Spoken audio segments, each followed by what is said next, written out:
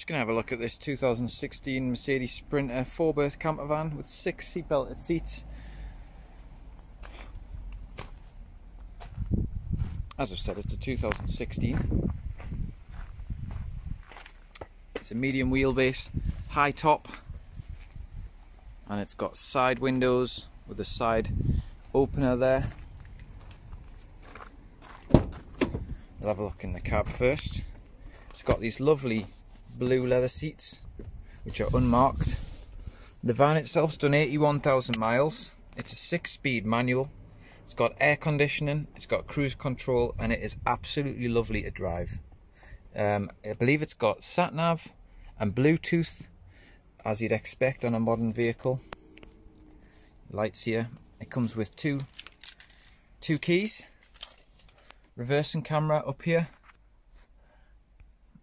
and it's got uh, Eberspacher digital controls here for your heating. And your Mercedes books are up here. There's a double swivel passenger seat here which is very easy to operate. It's the smoothest operating um, swivel seats we've come across. I believe they're from RJ R&J Camper Solutions there and they are bolted down um, with these bolts here.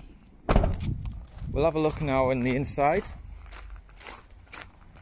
I'll tell you what, we'll have a look at the back first.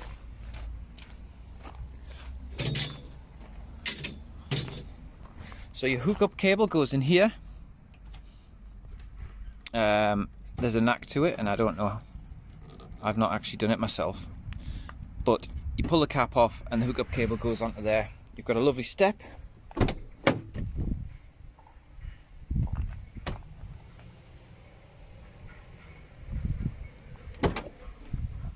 Um, you've got your bunk beds, the back of your bunk beds. You've even got a 12 volt point there for maybe a, a cool box.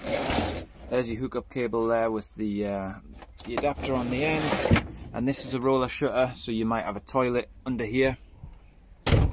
Doors have got these black blackout blinds on them. Now we'll have a look on the inside. So, I've never seen or heard of a layout like this, but it's incredibly practical.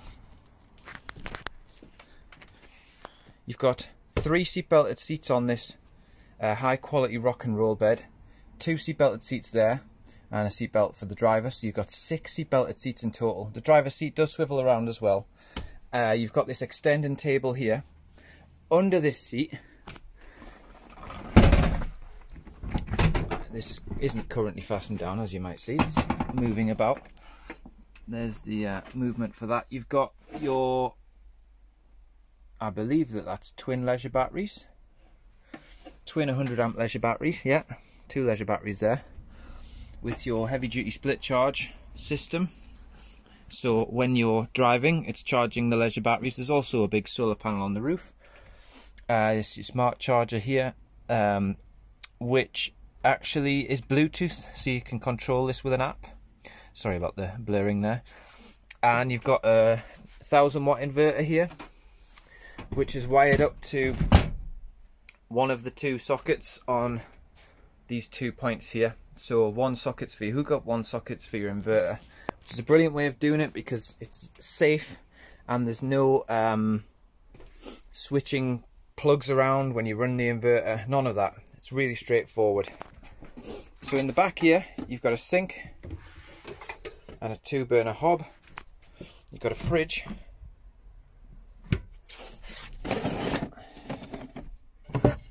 Storage, that's a chopping board and you've got your gas bottle and your fresh and waste water here.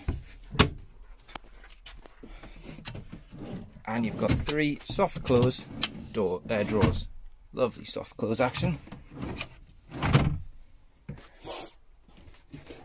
You've got two 12 volt um, cigarette lighter points two USBs here additional cupboards up here a wardrobe and storage there toilet ro uh, roller under the bed, as I've mentioned. Uh, I believe there's some. Just going to turn the power on here. These lights are on. Um, turn the lights on. These lights are on touch. All of the lights here are on touch. There's a light in the fan, which we'll come to, and the bed has touch spotlights, which if you hold are actually dimmable and touch off. You've got cigarettes and USBs in there, cigarette USB there, and there's an LED strip light in here which I believe is Bluetoothable. What else can I show you? So up here we've got a MaxxAir. Um, quite expensive remote control ceiling fan which is all remote controllable and it tells you your internal temperature and you can set a temperature where it automatically opens. So if I press up, it turns the fan on and it winds open the roof light and it can extract or blow and it can quite effectively remove a lot of the heat out of the van. The van is obviously insulated as well and has blinds, uh, curtains on the windows, sorry. But this is a great idea and they do advertise that you can drive with these on as well. Obviously you've got your cab aircon as well. And your battery level meters saying that both the batteries are charged and your water pump and when this is on the fridge is on but with a solar panel you'll have no issues and twin leisure batteries. You'll have no issues with the fridge ever running the battery down.